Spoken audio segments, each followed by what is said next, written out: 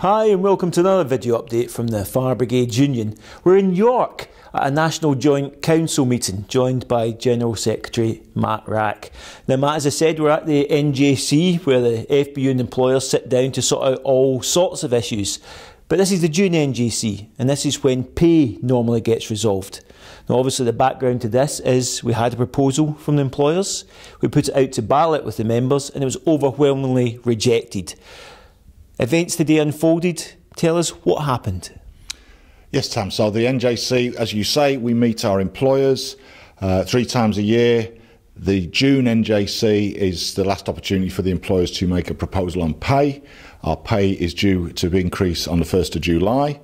Uh, we balloted our members. 97% of our members rejected the employer's so called proposal, which wasn't a pay offer uh, for a whole host of reasons, that it simply wasn't uh, good enough. Uh, and we had hoped that the employers uh, would come here today with a revised proposal or something to start to address the issue of pay. The truth is that they haven't done that today. Uh, it's been a very long day. It's been quite a fraught uh, discussion with the employers, but the current position is that uh, at the present time there is no proposal from the employers to address the issue of pay. Uh, they have asked us as a result of that to uh, meet again to try and address what the concerns the union had with their previous proposal, to try and discuss what can be done in relation to the Westminster government, uh, in particular about funding, uh, and that's what they've asked us to do. The, the truth, this, this is what we said to the employers, that our concerns about their proposal were on a number of, uh, a number of fronts. It wasn't a pay offer, it was a hypothetical pay proposal.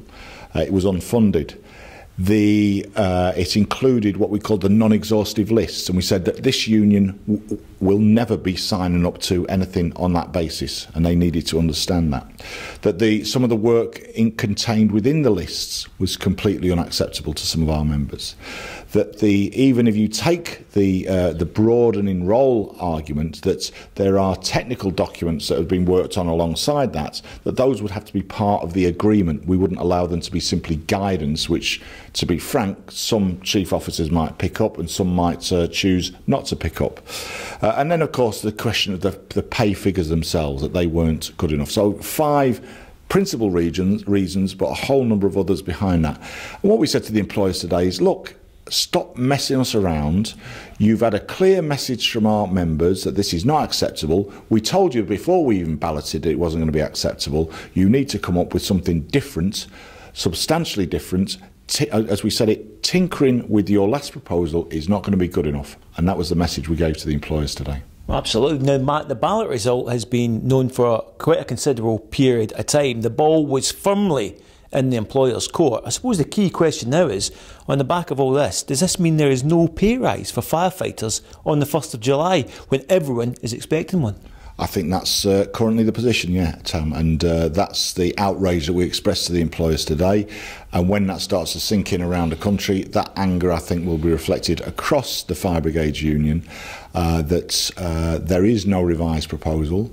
Uh, currently, that means actually we're one of the possibly the only group of public sector workers not to get a pay rise the, uh, in 2019. Now, the employers are saying that's not where they're going to end up. Well, they need to move damn quick to start addressing that issue because currently there is no proposal to increase our members' pay from uh, July, and we cannot sit back and allow that to, to happen. Okay, Matt. So, what is the next steps for the union then? Is it more discussions, or are we talking about now entering into another phase of a pay campaign?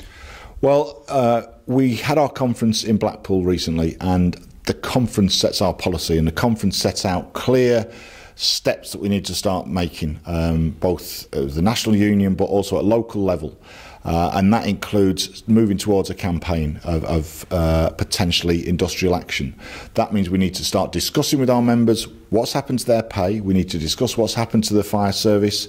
We need to, we're discussing a, a great deal about the work that our members are doing, which, in our opinion, they're not really being paid for. Work that's not within contract or not within the role map. Uh, all that has been mapped out through our regional structures, going down to the brigade committees, uh, and ultimately individual members and branches will be discussed with about This work we think is agreed, this work isn't agreed. Uh, so all that work is underway. Um, we, what we said to the employers, we'll never refuse to meet them. That would that wouldn't make a lot of sense. We will meet the employers to discuss pay, but they need to come back with something substantially different. If they do, then our members will decide uh, whether that might be acceptable. But currently, I'm not hugely optimistic about that. Currently, uh, we also, alongside that, have to now prepare for a serious battle. The truth is this, uh, Tam, that uh, we are. It looks like we are not going to get a pay rise unless we're prepared for, to fight for it. We're not going to get a pay rise unless we're out campaigning, and that means campaigning with fire service employers, chief fire officers, uh, central government, uh, other governments around the UK. We need to put pressure on them, and actually, ultimately further down the line, if we don't uh, shift them on using those arguments, then we're going to have to consider industrial action. And that's the decision of our conference, and that's what we're now going to have to seriously start mapping out what does that mean in the next couple of uh, next couple of months. Okay, Matt. Well, you mentioned governments across the UK. What's the situation in Scotland? Because I know there's been a lot of discussion about extra money that that government may be putting forward. Yeah, the situation is slightly different in Scotland in that the Scottish Government has said that it would be willing to put money into the, the fire and rescue service uh, and they asked us for some discussions. We've had those discussions and there is now a proposal from the Scottish Fire and Rescue Service.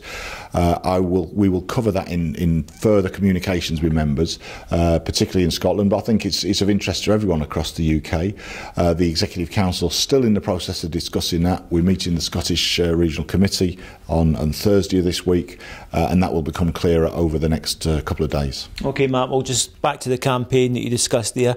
How would you see members getting involved in that? And what's your message to FBU members at what clearly is going to be, to put it mildly, a very disappointing time on stations and control rooms up across the UK? I think that uh, firefighters are being treated in a disgraceful manner by uh, fire service employers, by chief fire officers, by politicians who are quick to pat us on the back when, uh, you know, in the aftermath of Grenfell or the fire we saw the other day in Barking or other major incidents around the country or the major floodings or the wildland uh, fires that we saw uh, over the past year, you know, firefighters do that job day in and day out. We're praised by politicians, but they're not willing to put the money in to invest in our service and not willing to put the money in to give our members a pay rise that they deserve. The only way we're going to do it is relying on our own strength, our own organisation, standing together, giving that message back to them actually, yeah, it's a fantastic public service. It deserves the investments and the resources that we,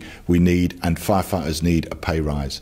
Uh, so we need to take that message politically, but also I think people need to seriously start sitting down on our branches and discussing what do we do? Why are we doing work that we're not paid for? Why are we volunteering to do things that we're not paid for? Uh, why are we taking on additional work that we're not paid for? Why, are why is our chief officer forcing these changes through at local level. You want to do that, you negotiate it nationally. If you want to do that, negotiate it with a pay rise. That's what we need. Matt, thanks. A very strong message there from the union's General Secretary, and clearly we're entering into a very serious time across the FBU. So please stay up to date and you can do that through our website. That's www.fbu.org.uk. Or why not sign up to our electronic bulletin called Roll Call? To do that, go to the website, the front page, scroll down, and you can enter your email address. Till next time, thanks for joining us. And Matt, thanks very much. Thanks, Tom.